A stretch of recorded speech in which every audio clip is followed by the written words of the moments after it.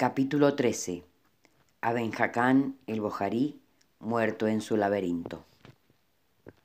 Esta, dijo Dunraven, con un vasto ademán que no rehusaba las nubladas estrellas y que abarcaba el negro páramo, el mar y un edificio majestuoso y decrépito que parecía una caballeriza venida a menos, es la tierra de mis mayores.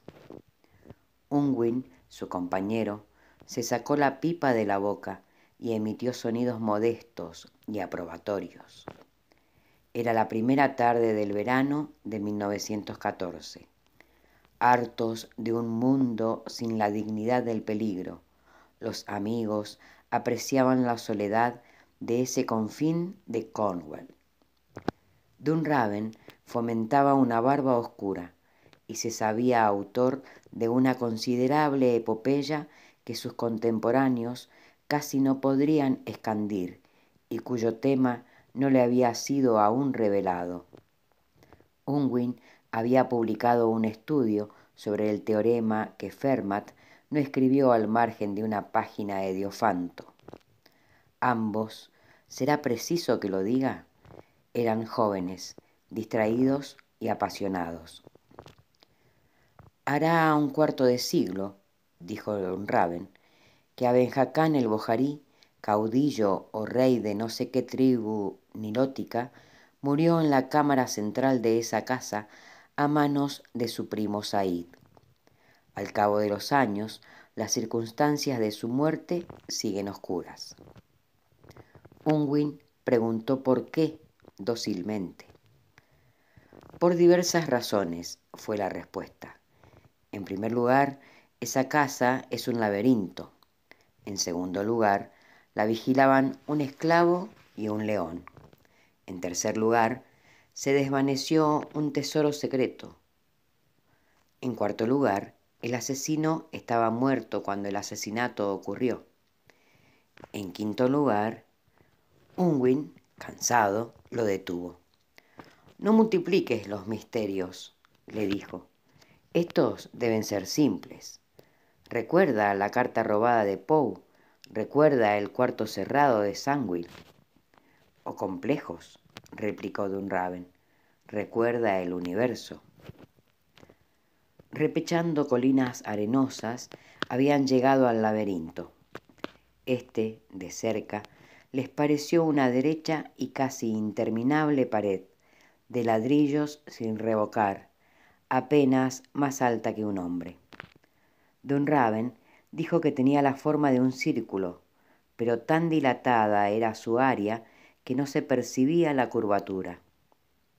Unwin recordó a Nicolás de Cusa, para quien toda la línea recta es el arco de un círculo infinito. Hacia la medianoche descubrieron una ruinosa puerta que daba a un ciego y arriesgado zaguán. Don Raven dijo que en el interior de la casa había muchas encrucijadas, pero que doblando siempre a la izquierda llegarían en poco más de una hora al centro de la red. Unwin asintió. Los pasos cautelosos resonaron en el suelo de piedra. El corredor se bifurcó en otros más angostos. La casa parecía querer ahogarlos. El techo era muy bajo. Debieron avanzar uno tras otro por la complicada tiniebla. Unwin iba adelante. Entorpecido de asperezas y de ángulos, fluía sin fin contra su mano el invisible muro. Unwin, lento en la sombra, oyó de boca de su amigo la historia de la muerte de Abenjacán. ¿Acaso el más antiguo de mis recuerdos, con todo un Raven, es el de Abenjacán el Bojarí, en el puerto de Pentreat. Lo seguía un hombre negro con un león, sin duda el primer negro y el primer león que miraron mis ojos, fuera de los grabados de la escritura. Entonces yo era niño, pero la fiera del color del sol y el hombre del color de la noche me impresionaron menos que a Benjacán. Me pareció muy alto, era un hombre de piel cetrina, de entrecerrados ojos negros, de insolente nariz, de carnosos labios, de barba azafranada, de pecho fuerte, de andar seguro y silencioso. En casa dije, ha venido un rey en un buque. Después, cuando trabajaron los albañiles, amplié ese título y le puse el rey de Babel. La noticia de que el forastero se fijaría en Petriat fue recibida con agrado. La extensión y la forma de su casa, con estupor y aún con escándalo. Pareció intolerable que en una casa constara de una sola habitación y de leguas y leguas de corredores. Entre los moros se usarán tales casas pero no entre cristianos, decía la gente. Nuestro rector, el señor Alabi, hombre de curiosa lectura, exhumó la historia de un rey a quien la divinidad castigó por haber erigido un laberinto y la divulgó desde el púlpito. El lunes, Abenjacán visitó la rectoría. Las circunstancias de la breve entrevista no se conocieron entonces, pero ningún sermón ulterior aludió a la soberbia, y el moro pudo contratar albañiles. Años después pereció a Benjacán. Alabi declaró a las autoridades la sustancia del diálogo. A Benjacán le dijo, de pie, estas o parecidas palabras. Ya nadie puede censurar lo que yo hago. Las culpas que me infaman son tales que aunque yo repitiera durante siglos el último nombre de Dios, ello no bastaría a mitigar uno solo de mis tormentos. Las culpas que me infaman son tales que aunque yo lo matara con estas manos, ello no agravaría los tormentos que me destina la infinita justicia. En tierra alguna es conocido mi nombre. Soy Abenjacán el Bojarí, y he regido las tribus del desierto con un cetro de hierro. Durante muchos años las despojé, con asistencia de mi primo Said, pero Dios oyó mi clamor y sufrió que se rebelaran. Mis gentes fueron rotas y acuchilladas. Yo alcancé a huir con el tesoro recaudado en mis años de expoliación. Said me guió al sepulcro de un santo, al pie de una montaña de piedra. Le ordené a mi esclavo que vigilara la cara del desierto. Said y yo dormimos, rendidos. Esa noche creí que me aprisionaba una red de serpientes. Desperté con horror. A mi lado, en el alba, dormía Said. El roce de una telaraña en mi carne me había hecho soñar aquel sueño. Me dolió que Said, que era cobarde, durmiera con tanto reposo. Consideré que el tesoro no era infinito y que él podía reclamar una parte. En mi cinto estaba la daga con empuñadura de plata. La desnudé y le atravesé la garganta. En su agonía balbuceó unas palabras que no pude entender. Lo miré. Estaba muerto, pero yo temí que se levantara y le ordené al esclavo que le deshiciera la cara con una roca. Después erramos bajo el cielo y un día divisamos un mar. Lo surcaban buques muy altos. Pensé que un muerto no podría andar por el agua y decidí buscar otras tierras. La primera noche que navegamos soñé que yo mataba a Said. Todo se repitió, pero yo entendí sus palabras. Decía, como ahora me borras, te borraré donde quiera que estés. He jurado frustrar esa amenaza. Me ocultaré en el centro de un laberinto para que su fantasma se pierda. Dicho lo cual, se fue. Alaví trató de pensar que el moro estaba loco y que el absurdo laberinto era un símbolo y un claro testimonio de su locura. Luego reflexionó que esa explicación condecía con el extravagante edificio y con el extravagante relato, no con la enérgica impresión que dejaba el hombre a Benjacán. Quizás tales historias fueran comunes en los arenales egipcios. Quizás tales rarezas correspondieran, como los dragones de Plinio, menos a una persona que a una cultura. Alavi, en Londres, revisó números atrasados del Times. Comprobó la verdad de la rebelión y de una subsiguiente derrota del Bojarí y de su visir, que tenía fama de cobarde. Aquel, apenas concluyeron los albañiles, se instaló en el centro del laberinto. No lo vieron más en el pueblo. A veces Alavi temió que Said ya lo hubiera alcanzado y aniquilado. En las noches el viento nos traía el rugido del león y las ovejas del redil se apretaban con un antiguo miedo. Solían anclar en la pequeña bahía, rumbo a Cardiff o a Bristol, naves de puertos orientales. El esclavo descendía del laberinto, que entonces, lo recuerdo, no era rosado, sino de color carmesí, y cambiaba palabras africanas con las tripulaciones y parecía buscar entre los hombres el fantasma del rey. Era fama que tales embarcaciones traían contrabando, y si de alcoholes o marfiles prohibidos, ¿por qué no también de hombres muertos? A los tres años de erigida la casa, ancló al pie de los cerros el Rose of Sharon. No fui de los que vieron ese velero y tal vez en la imagen que tengo de él influyen olvidadas litografías de Abukir o de Trafalgar, pero entiendo que era de esos barcos muy trabajados, que no parecen obra de naviero, sino de carpintero, y menos de carpintero que de ebanista. Era, si no en la realidad, en mis sueños, bruñido, oscuro, silencioso y veloz, y lo tripulaban árabes y malayos ancló en el alba de uno de los días de octubre. Hacia el atardecer, Abenjacán irrumpió en casa de Álavi. Lo dominaba la pasión del terror. Apenas pudo articular que Said ya había entrado en el laberinto y que su esclavo y su león habían perecido. Seriamente preguntó si las autoridades podrían ampararlo.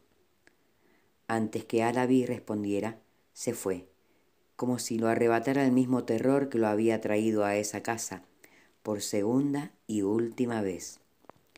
Alaví, solo en su biblioteca, pensó con estupor que ese temeroso había oprimido en el Sudán a tribus de hierro y que sabía qué cosa es una batalla y qué cosa es matar.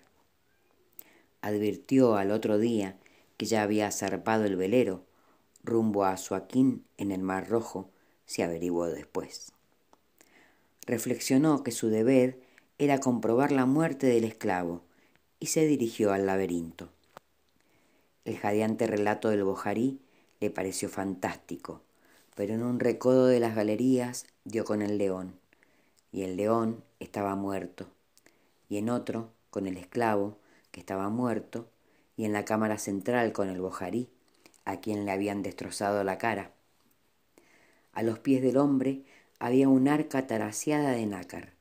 Alguien había forzado la cerradura y no quedaba ni una sola moneda.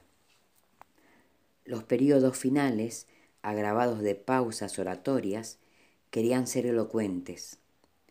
Unwin adivinó que Dunraven los había emitido muchas veces, con idéntico aplomo y con idéntica ineficacia. Preguntó, para simular interés, ¿Cómo murieron el león y el esclavo? La incorregible voz contestó con sombría satisfacción. También les habían destrozado la cara. Al ruido de los pasos se agregó el ruido de la lluvia. Unwin pensó que tendrían que dormir en el laberinto, en la cámara central del relato, y que en el recuerdo esa larga incomodidad sería una aventura. Guardó silencio Don Raven no pudo contenerse y le preguntó como quien no perdona una deuda.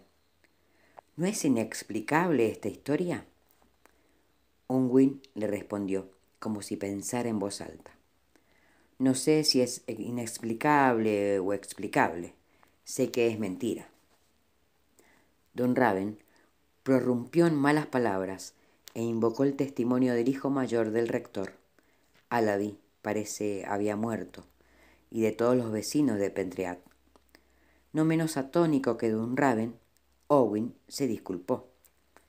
El tiempo, en la oscuridad, parecía más largo.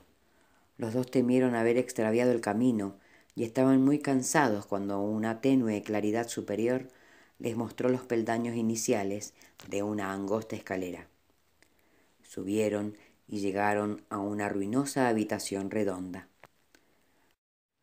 Dos signos perduraban del temor del malhadado rey, una estrecha ventana que dominaba los páramos y el mar, y en el suelo una trampa que se abría sobre la curva de la escalera.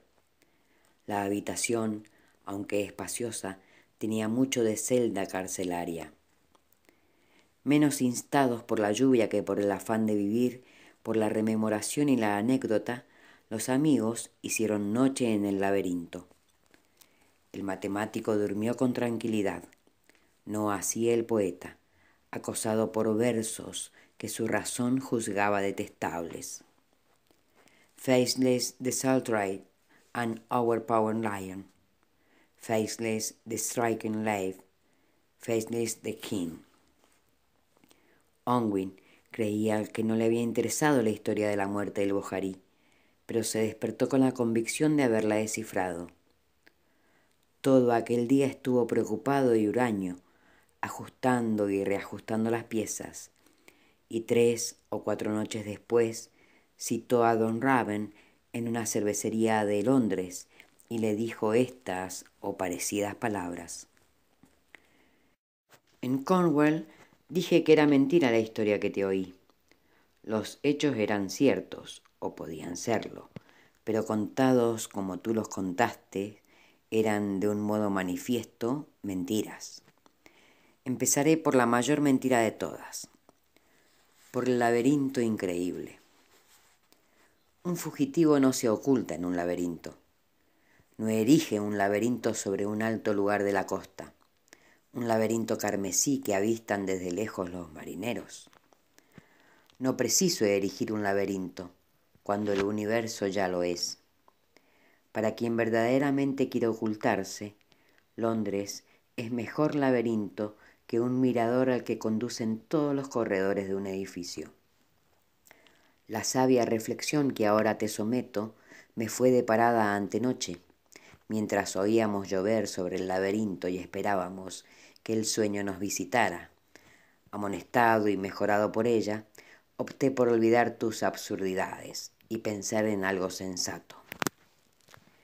En la teoría de los conjuntos, digamos, o en una cuarta dimensión del espacio, observó Dunraven. No, dijo Unwin con seriedad. Pensé en el laberinto de Creta, el laberinto cuyo centro era un hombre con cabeza de toro. Don Raven, versado en obras policiales, pensó que la solución del misterio siempre es inferior al misterio. El misterio participa de lo sobrenatural y aún de lo divino, la solución del juego de manos. Dijo para aplazar lo inevitable. Cabeza de toro tiene en medallas y esculturas el Minotauro. Dante lo imaginó con cuerpo de toro y cabeza de hombre. También esa versión me conviene. Unwin asintió. Lo que importa es la correspondencia de la casa monstruosa con el habitante monstruoso. El Minotauro justifica con creces la existencia del laberinto. Nadie dirá lo mismo de una amenaza percibida en un sueño. Evocada la imagen del Minotauro, evocación fatal en un caso en que hay un laberinto, el problema, virtualmente, estaba resuelto. Sin embargo, confieso que no entendí que esa antigua imagen era la clave, y así fue necesario que tu relato me suministrara un símbolo más preciso, la telaraña. ¿La telaraña? repitió perplejo don Raven. Sí, nada me asombraría que la telaraña, la forma universal de la telaraña. Entendamos bien, la telaraña de Platón hubiera sugerido al asesino, porque hay un asesino, su crimen. Recordarás que el Bojarí en una tumba soñó con una red de serpientes y que al despertar descubrió que una telaraña le había sugerido aquel sueño. Volvamos a esa noche en que el Bojarí soñó con una red. El rey vencido y el visir y el esclavo huyen por el desierto con un tesoro. Se refugian en una tumba, duerme el visir, de quien sabemos que es un cobarde. No duerme el rey, de quien sabemos que es un valiente. El rey, para no compartir el tesoro con el visir, lo mata de una cuchillada. Su sombra lo amenaza en un sueño, noches después. Todo esto es increíble. Yo entiendo que los hechos ocurrieron de otra manera. Esa noche durmió el rey, el valiente, y veló Said, el cobarde. Dormir es distraerse del universo, y la distracción es difícil para quien sabe que lo persiguen con espadas desnudas. Said, ávido, se inclinó sobre el sueño de su rey. Pensó en matarlo, quizá jugó con el puñal, pero no se atrevió. Llamó al esclavo, ocultaron parte del tesoro en la tumba, huyeron a y a Inglaterra, no para ocultarse el Bojarí, sino para atraerlo y matarlo, construyó a la vista del mar el alto laberinto de muros rojos. Sabía que las naves llevarían a los puertos de Nubia la fama del hombre bermejo, del esclavo y del león, y que tarde o temprano el Bojarí lo vendría a buscar en su laberinto. En el último corredor de la red esperaba la trampa. El bojarí lo despreciaba infinitamente. No se rebajaría a tomar la menor precaución. El día codiciado llegó. Aben desembarcó en Inglaterra, caminó hasta la puerta del laberinto, barajó los ciegos corredores y ya había pisado. Tal vez los primeros peldaños cuando su visir lo mató. No sé si de un balazo o desde la trampa. El esclavo mataría al león y otro balazo mataría al esclavo. Luego Said deshizo las tres caras con una piedra. Tuvo que obrar así.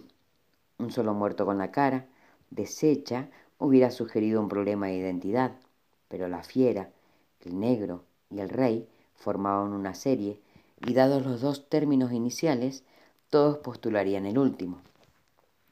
No es raro que lo dominara el temor cuando habló con Alaví acababa de ejecutar la horrible faena y se disponía a huir de Inglaterra para recuperar el tesoro. Un silencio pensativo o incrédulo siguió a las palabras de Unwin.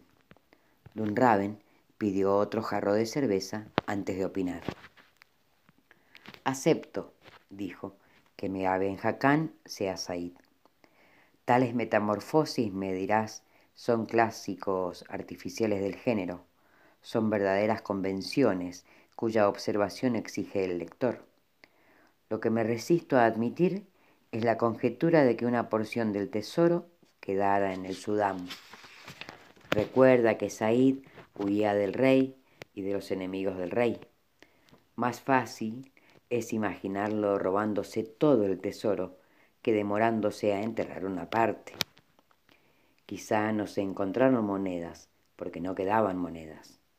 Los albañiles habrían agotado un caudal que, a diferencia del oro rojo de los nivelungos, no era infinito. Tendríamos así a Benjacán atravesando el mar para reclamar un tesoro dilapidado. Dilapidado no, dijo Unwin, invertido en armar en tierra de infieles una gran trampa circular de ladrillo destinada a apresarlo y aniquilarlo. Said, si tu conjetura es correcta, procedió urgido por el odio y por el temor y no por la codicia. Robó el tesoro y luego comprendió que el tesoro no era lo esencial para él. Lo esencial era que Aben pereciera. Simuló ser Aben Mató a Aben y finalmente fue Aben Sí, confirmó don Raven. Fue un vagabundo que, antes de ser nadie en la muerte, recordaría haber sido un rey o haber fingido ser un rey algún día.